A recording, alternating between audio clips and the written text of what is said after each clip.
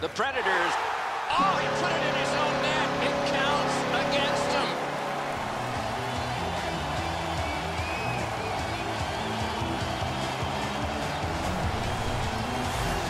Rene's unsure as well. I mean, the puck just kind of leaks through him.